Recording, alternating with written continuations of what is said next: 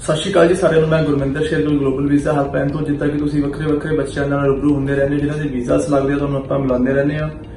ਅੱਜ ਦੋਸਤੋ ਕੈਨੇਡਾ ਦਾ ਆਪਾਂ ਦੇਖਦੇ ਹੈਗੇ ਵੀ ਬੜੀਆਂ ਵੱਡੀਆਂ ਵੱਡੀਆਂ ਫਾਰਮਾਂ ਆ ਰਹੀਆਂ ਨੇ। ਕੋਈ ਏਜੰਟ ਕੁਝ ਕਹਿ ਰਿਹਾ ਹੈਗਾ, ਕਦੇ ਆਪਾਂ ਦੇਖਦੇ ਆ ਵੀ ਫੀਸ ਦੇ ਆਪਾਂ ਰਿਗਾਰਡਿੰਗ ਹੈਗਾ ਵੀ ਫੀਸ ਜਿਹੜੀ ਹੈਗੀ 1 ਸਾਲ ਦੀ ਹੁਣ ਭਰਾਣੀ ਪਏਗੀ ਜਾਂ ਐਸਡੀਐਸ ਦੇ ਰੂਲ ਆ ਗਏ ਆ। ਹੁਣ ਜੀਏਸੀ ਦਾ ਆਪਾਂ ਸੁਣਨ ਦੇ ਵਿੱਚ ਆ ਰਿਹਾ ਹੈਗਾ ਵੀ ਜੀਏਸੀ ਆਪਾਂ ਨੂੰ 2 ਸਾਲ ਦੇ ਪੈਸੇ ਜਮ੍ਹਾਂ ਕਰਾਉਣੇ ਪੈਣਗੇ, ਯਾਨੀ ਕਿ 20000 ਡਾਲਰ ਆਪਾਂ ਨੂੰ ਜਮ੍ਹਾਂ ਕਰਵਾਉਣਾ ਪਏਗਾ।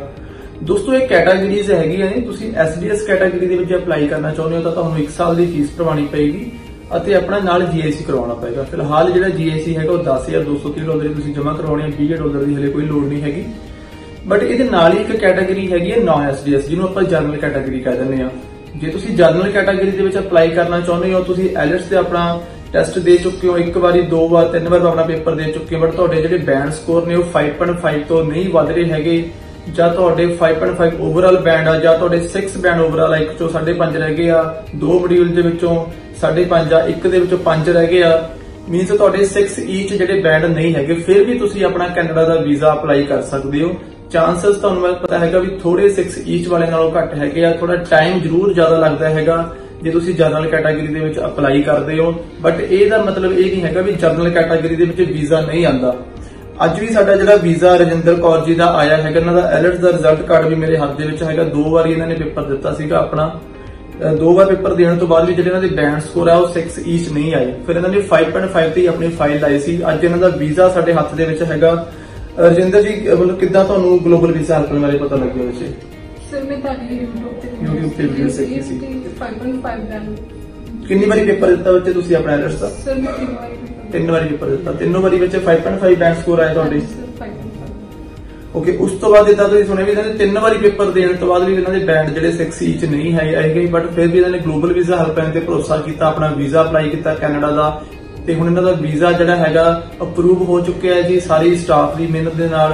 ਬਾਕੀ ਮੈਂ ਆਲਵੇਸ ਕਹਿੰਦਾ ਹੁੰਦਾ ਵੀ ਨੀਤਾਂ ਨੂੰ ਮੁਰਾਦਾਂ ਹੁੰਦੀਆਂ ਨੇ, ਸਾਫ਼ ਨੀਤ ਰੱਖ ਕੇ ਜੇ ਆਪਾਂ ਕੋਈ ਵੀ ਕੰਮ ਕਰਦੇ ਹੈਗੇ ਆ ਤਾਂ ਉਹਦੇ ਵਿੱਚ ਆਪਾਂ ਨੂੰ ਸਫਲਤਾ ਜ਼ਰੂਰ ਮਿਲਦੀ ਹੈ ਜੀ। ਤੁਸੀਂ ਵੀ ਜੇ ਆਪਣਾ ਕੈਨੇਡਾ ਜਾਣ ਦਾ ਸੁਪਨਾ ਸਾਕਾਰ ਕਰਨਾ ਚਾਹੁੰਦੇ ਹੋ, ਖਾਸ ਕਰ ਮੈਂ ਉਹ ਬੱਚਿਆਂ ਨੂੰ ਕਹਾਂਗਾ ਜਿਹੜੇ 5.5 ਬੈਂਡ ਵਾਲੇ ਬੱਚੇ ਆ, ਉਹ ਅੱਜ ਵੀ ਆਪਣਾ ਕੈਨੇਡਾ ਦਾ ਵੀਜ਼ਾ ਅਪਲਾਈ ਕਰਕੇ ਕੈਨੇਡਾ ਜਾਣ ਦਾ ਸੁਪਨਾ ਜਿਹੜਾ ਹੈਗਾ ਸਾਕਾਰ ਕਰ ਸਕਦੇ ਜੀ। ਤੇ ਜੀ ਆ ਤੁਸੀਂ ਰਜਿੰਦਰ ਕੌਰ ਜੀ ਦਾ ਐਲਟਸ ਦਾ ਰਿਜ਼ਲਟ ਦੇਖ ਸਕਦੇ ਹੋ ਜੀ। ਇਹ ਦੋ ਰਿਜ਼ਲਟ ਮੇਰੇ ਹੱਥ ਦੇ ਵਿੱਚ ਹੈਗੇ ਆ, ਦੋਨਾਂ ਦੇ ਵਿੱਚ ਇਹਨਾਂ ਦੇ 5.5 ਬੈਂਡ ਆ। ਤੀਸਰਾ ਰਿਜ਼ਲਟ ਇਹਨਾਂ ਦਾ ਮੇਰੇ ਕੋਲ ਨਹੀਂ ਸੀਗਾ, ਉਹ ਵੀ ਆਪਾਂ ਤੁਹਾਨੂੰ ਦਿਖਾ ਸਕਦੇ ਹਾਂ। ਇਹ ਰਜਿੰਦਰ ਜੀ ਦਾ ਵੀਜ਼ਾ ਜੀ ਕੰਗ੍ਰੈਚੁਲੇਸ਼ਨ ਬੱਚੇ, ਤੁਹਾਨੂੰ ਬਹੁਤ ਬਹੁਤ ਆ ਵੀਜ਼ਾ ਤੁਹਾਡਾ। ਕੋਈ ਸਾਡੇ ਨੂੰ ਲਾਸਟ ਤੇ ਕੁਝ ਵੀ ਮੈਸੇਜ ਦੇਣਾ ਚਾਹੋ ਕੁਝ ਤੁਹਾਡੇ ਵਿਊਅਰਸ ਨੂੰ? ਮੈਂ ਕਹਿਣਾ ਚਾਹ ਮੈਂ ਪਹਿਲਾਂ ਤਾਂ ਥੈਂਕਸ ਕਰਨਾ ਚਾਹੁੰਦੀ ਹਾਂ ਗਲੋਬਲ ਵੀਜ਼ਾ ਹੈਲਪਲਾਈਨ ਦਾ ਮੈਂ ਇਹ ਕਹਿਣਾ ਚਾਹੁੰਦੀ ਹਾਂ। ਜੇਕਰ ਤੁਸੀਂ ਵੀ 5.5 ਨਾਲ ਅਪਲਾਈ ਕਰਨਾ ਚਾਹੁੰਦੇ ਹੋ, ਤਾਂ ਤੁਸੀਂ ਜ਼ਰੂਰ ਕਰੋ, ਕਿਉਂਕਿ ਇਹਨਾਂ ਦੀ ਸਰਵਿਸ ਬਹੁਤ ਵਧੀਆ। ਮੇਰੀ ਕਾਲਜ ਫੀਸ ਵੀ ਆਫਟਰ ਵੀਜ਼ਾ ਜਾਂਦੀ ਹੈ ਥੈਂਕ ਯੂ ਬੱਚੇ। ਬਾਕੀ ਮੈਂ ਇਹ ਕਹਿਣਾ ਚਾਹਾਂਗਾ ਲਾਸਟ ਤੇ ਜੀ। ਕੋਈ ਵੀ ਐਡਵਾਂਸ ਫੀਸ ਕੰਪਨੀ ਵੱਲੋਂ ਆਪਣੀ ਨਹੀਂ ਲਿੱਤੀ ਜਾਂਦੀ ਕੰਪਨੀ ਦੀ ਫੀਸ ਸਾਰੀ ਦੀ ਸਾਰੀ ਆਫਟਰ ਵੀਜ਼ਾ ਹੈਗੀ ਹੈ ਜੀ। ਬਾਕੀ ਜੋ ਵੀ ਤੁਹਾਡਾ ਸਰਕਾਰੀ ਖਰਚਾ ਹੈਗਾ, ਸਾਰਾ ਪ੍ਰੋਸੈਸ ਤੁਸੀਂ ਜਾਣਨਾ ਚਾਹੁੰਦੇ ਹੋ। ਮੈਨੂੰ ਚੰਡੀਗੜ੍ਹ, ਖੰਨਾ ਤੇ ਜਲੰਧਰ ਆਫਿਸ ਵਿੱਚ ਮੈਨੂੰ ਜਾਂ ਮੇਰੀ ਐਕਸਪਰਟ ਟੀਮ ਨੂੰ, ਮੇਰੇ ਸਟਾਫ ਨੂੰ ਤੁਸੀਂ ਮਿਲ ਕੇ ਆਪਣੀ ਕੋਈ ਵੀ ਇਨਕੁਆਇਰੀ ਉਹ ਕਲੀਅਰ ਕਰ ਸਕਦੇ ਹੋ।